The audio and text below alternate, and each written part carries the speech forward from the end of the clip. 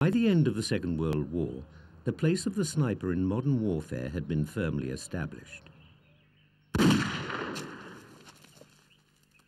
Sniper fire produced more fear and confusion amongst soldiers on the ground than any other type of fire.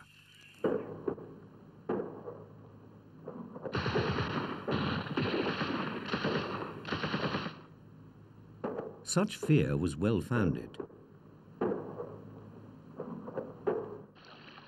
The sniper's rifle could kill more men more selectively with less ammunition and less risk of detection than any other weapon.